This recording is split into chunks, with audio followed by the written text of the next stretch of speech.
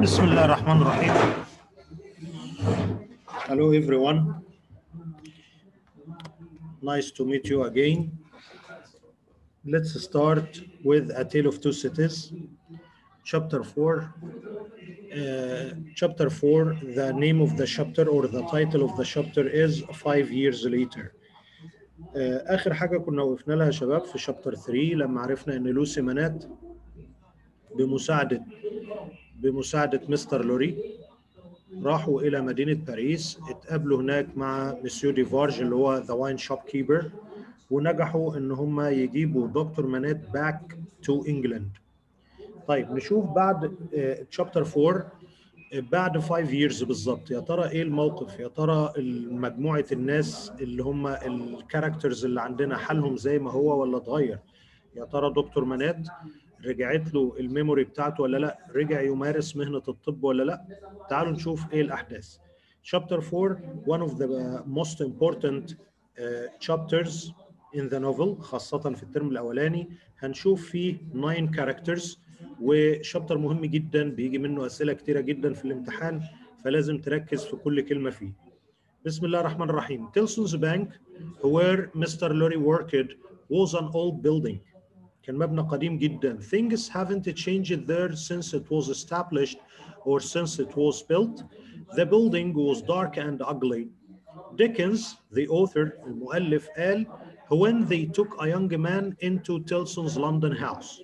لما كانوا بياخدوا شاب بيوظفوه في تيلسون تيلسون's London house they hid him somewhere till he was old. كانوا بيخبوه في مكان ما till he was old. وهقول لك ليه بالظبط. They kept him in a dark place like a cheese. كانوا بيخبوه في مكان مظلم like a cheese until he had full Tilson flavor upon him. يقصد إيه تشارلز ديكنز بالجملة دي أو بالكلام ده؟ إن هم لما بيوظفوا شاب وليكن عنده 30 سنة بيوظفوه في البنك بيخلوه يشتغل في مكان مظلم اللي هو الأرشيف اللي بيبقى في البدروم مدة طويلة جدا لغاية لما يكتسب خبرة شديدة وعلشان لما يبدأ يقابل العملاء يكون سنه كبير ويكون اكتسب خبرة شديدة جدا ما يبقاش عنده أي أخطاء في التعامل مع البنك. تمام؟ زي مستر لوري كده بالظبط. إحنا مستر لوري قلنا في شابتر 2 إن هو كان اولد مان وكان عمره تقريبا حوالي 60 years old ودي كانت يعني الحال بتاع كل ال clerks كل الموظفين اللي في البنك. Outside Tellson's bank sat an old man an odd job man a strange job man his name was Jerry Cruncher. طيب نفتكر كده في chapter 2 Jerry Cruncher ده كان الشخص اللي كان ال rider اللي كان جاي على الحصان اللي جه سلم Mr. Lorry ال message اللي كانت بتقول wait at Dover for Mamsell. لو تفتكروا ساعتها قلنا إن مستر لوري رد عليه وقال له you can say my answer is recalled to life. هو ده الشخص اللي هو الفراش أو خلينا نقول الساعي بتاع البنك. جيري was asked by one of the old clerks طلب منه من أحد الموظفين كبار السن to go to the old Bailey court in London. إن هو يروح مبنى كورت محكمة اسمها Old Bailey Court موجودة في لندن. طب يروح هناك يعمل إيه؟ Make his presence known to Mr. Lorry who was there. مستر لوري موجود هناك. طبعا هو مش متهم. مش محكوم مش هيحكم عليه ولا حاجة ولكن هو رايح a witness كشاهد. فالموظف ده طلب من جيري اللي هو الفراش إن هو يروح لمستر لوري هناك and wait وينتظر بجواره. In case the old gentleman اللي هو مستر لوري should have need of him. في ممكن مستر لوري يحتاجه يجيب له بعض الأوراق وهكذا. طب يا ترى مستر لوري موجود في المحكمة بيعمل إيه؟ At the old Bailey court house in London a trial محاكمة. For treason بتهمة الخيانة أو الجاسوسية was in progress كانت بتتم. يعني كان في واحد مقبوض عليه وبيحاكموه لأن هم بيعتبروا إن هو جاسوس. تعالوا نشوف مين الشخص ده. The accused man المتهم. شخصية مهمة جدا هتفضل معانا لغاية آخر النوفل. كان اسمه تشارلز دارني تاني The accused تشارلز دارني طيب إيه الاتهام الموجه إليه؟ He was charged with passing government secrets. متهم بتهريب الأسرار الحكومية to the French king إلى ملك فرنسا. الأسرار دي about the troops القوات. أسرار متعلقة بالقوات بتاعه الجيش. England was sending to North America and Canada. طبعا إحنا عارفين إن في التوقيت ده كانت إنجلترا بتحتل أجزاء كبيرة من العالم. كذلك فرنسا بتحتل أجزاء كبيرة من العالم. والدولتين كان ما بينهم عداوة. تشارلز دارني اتقبض عليه في إنجلند واتهموه إن هو بيسرب الأسرار العسكرية الإنجليزية إلى ملك فرنسا. تمام؟ تشارلز دارني was a tall handsome dark haired gentleman. رجل طويل القامة handsome وسيم. Dark haired gentleman شعره أسود of about 25 عنده حوالي 25 سنة لسه في يعني عز شبابه. Though he was pale على الرغم إن هو كان شاحب الوجه خايف لأن دي تهمة عقوبتها الإعدام. He seemed self possessed كان متحكم في أعصابه. يعني هو خايف وباين عليه الخوف ولكن self-possessed متحكم في أعصابه مش واقف يبكي مثلا أمام المحكمة أو كده. From time to time من وقت لآخر his eyes were drawn to two witnesses. عينيه كانت بتروح على two witnesses اثنين من الشهود sitting in the courtroom. اللي كانوا بيجلسوا في ال courtroom يا ترى مين دول؟ They were Dr. Manette and his daughter Lucie Manette. Whom Charles علاقتهم إيه بتشارلز دارني؟ Whom Charles had met during their trip to England five years ago when Lucy was taking her poor ill father out of France. تاني لما كانت لوسي مع مستر لوري بيجيبوا باباها دكتور مانيت من فرنسا إلى إنجلترا. طبعا ركبوا سفينة علشان يعبروا بيها the English Channel وعلى السفينة تقابلوا مع هذا المتهم تشارلز دارني. تمام؟ بسبب هذا اللقاء because of this meeting they were being called to testify تم استدعائهم لكي يشهدوا against the prisoner ضد هذا السجين. تاني بسبب اللقاء اللي على السفينة اللي جابت الكاركترز دول من فرنسا إلى إنجلترا تم استدعائهم علشان يشهدوا ضد هذا السجين. So was Mr. Lorry. كذلك مستر لوري who had accompanied them on that day الذي كان برفقتهم أو كان معهم في هذا اليوم.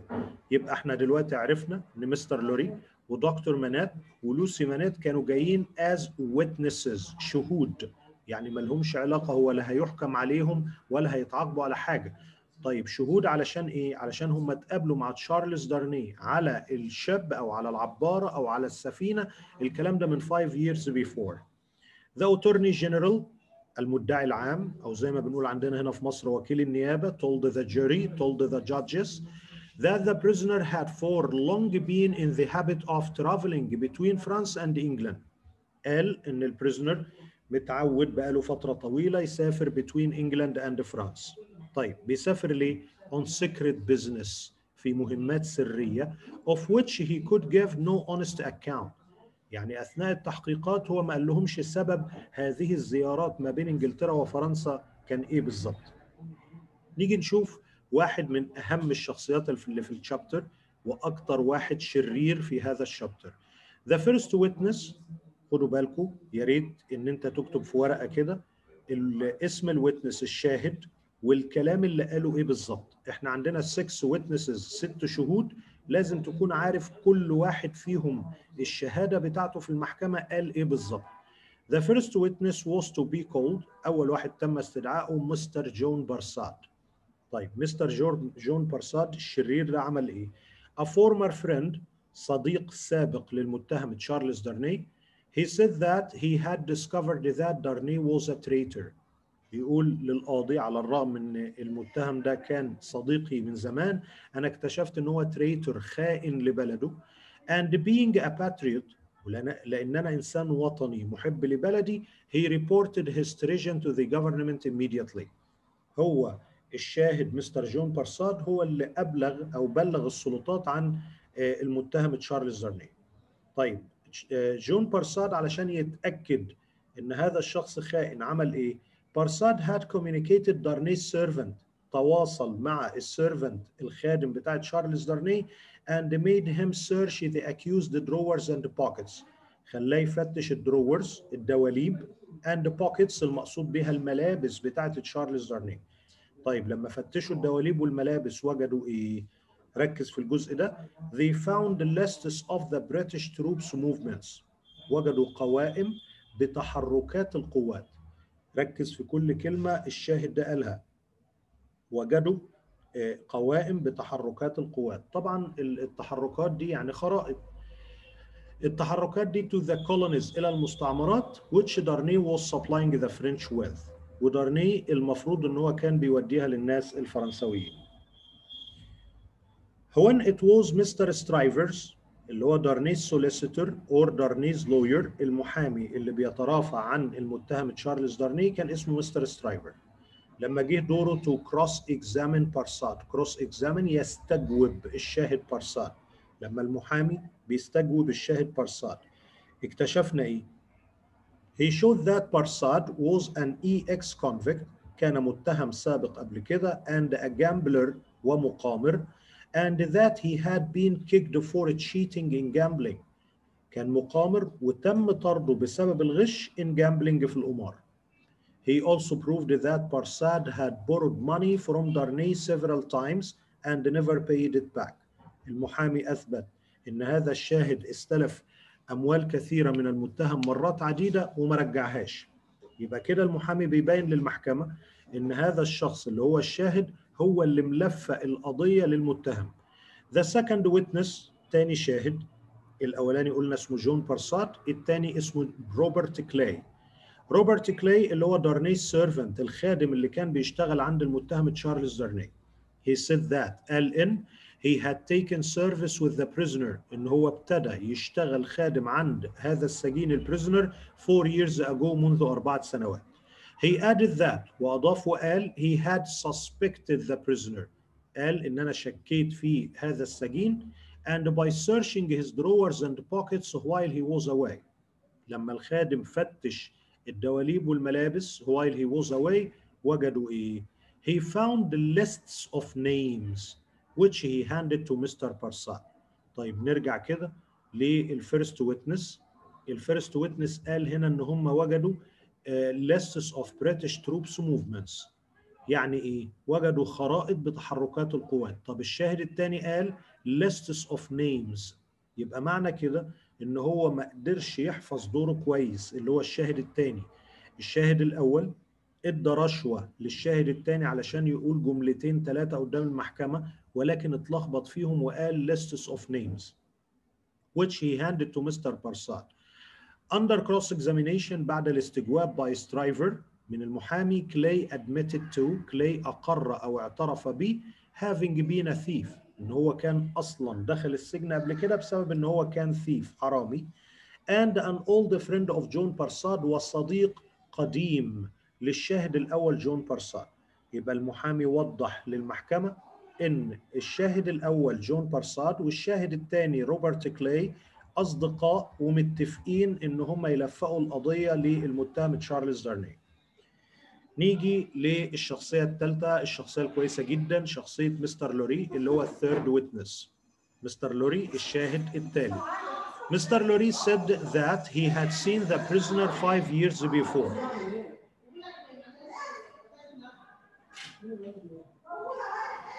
Who said that he had seen the prisoner five years before on the same boat that brought him back to England. تاني مستر لوري الشاهد الثالث قال إن هو شاف هذا السجين من خمس سنوات آه على نفس ال boat نفس المركب نفس السفينة اللي جابته إلى England. مستر لوري said that he was traveling with two other passengers اللي هم دكتور مانيت and his daughter لوسي. وضح سبب السفر إن هو كان جاي من فرنسا إلى إنجلترا برفقة دكتور مانيت وبنته لوسي. طيب مضمون الشهادة بتاعته قال إيه؟ مستر لوري said that he hardly had any conversation with the prisoner. تقريبا ما تكلمش مع ال prisoner خالص because the weather was so bad. لأن حالة الجو رياح شديدة وأمطار وأمواج عالية الجو كان so bad لدرجة إن مستر لوري spent all the time lying on a sofa قضى وقت الرحلة كله lying on a sofa in his cabin. يبقى دلوقتي إحنا عرفنا مين ال accused المتهم اللي كان اسمه تشارلز دارني وعرفنا إن هو راجل مظلوم. وعرفنا ال first witness اللي كان اسمه جون بارساد هو الشرير اللي ملفق القضية دي كلها للمتهم. عرفنا ال second witness اللي هو الخادم روجر كلاي إن هو كان صديق الشاهد الأول ومتفقين مع بعض. مستر لوري اتفقنا إن هو كان راجل محترم وتقريبا ما اتكلمش أثناء الرحلة مع المتهم خالص بسبب حالة الجو لدرجة إن مستر لوري spent all the time lying on a sofa. نشوف الشاهد number 4 لوسي مانيت. When Miss Manette was called to testify عندما تم استدعائها لكي تشهد she looked with great pity and love at Charles Darnay. نظرت بحب وشفقة للمتهم تشارلز دارني. She said that قالت للقاضي ان she had first met the prisoner اول مره قابلت هذا السجين on the boat or on the ship that carried her with her father to England اول لقاء كان على السفينه اللي جابتها من فرنسا إلى انجلترا وكان معاها her father she said that Charles helped her make her father comfortable قالت لأنه هو إنسان طيب ومحترم عنده أخلاق عالية كان بيساعدها إن هي تعتني بأبوها and protected him from the wind and the cold وكان بيحميه من الحرارة من البرودة والرياح. She added that وأضافت إن she had seen the prisoner. وده حقيقة حصل إن هي شافت هذا السجين. Talk with two French gentlemen بيتحدث مع اثنين من الرجال الفرنسيين. مش كده وبس. And that he saw she saw him exchange some papers with them. شافت إن هو بيتبادل معهم بعض الأوراق. طبعا دي حاجة تدين هذا السجين على الرغم إن هذا السجين بريء. وده طبعا حصل حقيقة بس الكلام ده هنعرفه في الترم الثاني مين الناس الفرنساويين دول وإيه الأوراق دي هنعرفها في الترم الثاني She was shown some papers. القاضي عرض عليها بعض الأوراق and asked and was asked whether they were the same papers she had seen with the prisoner. القاضي عرض عليها بعض الأوراق وقال لها الأوراق اللي كان دارني بيديها للفرنساويين تشبه هذه الأوراق طبعا she couldn't be sure about that. الكلام ده حصل من خمس سنين فهي ما كانتش متذكرة خالص. In answer to the question whether the prisoner told her his business القاضي بيسألها هل هذا السجين قال لك his business أو his job? She said that he told her that he had been traveling on an important business which might be taking him between France and England for a long time. قالت إن هو بيشتغل شغلانة مهمة تقتضي إن هو يسافر ما بين إنجلاند وفرنسا for a long time. Because of that وبسبب هذا اللقاء وبسبب هذه المهمات أو هذا العمل he was traveling under the false name of Charles Darnay. بيسافر تحت اسم مستعار هو تشارلز دارني طبعا إن هو بيسافر تحت اسم مستعار دي حاجة تدينه وحاجة طبعا غلط. وده إن شاء الله هنكمله المرة اللي جاية إن شاء الله because we are short of time. شكرا جزيلا وإن شاء الله يوم الاثنين اللي جاي نكمل بإذن الله.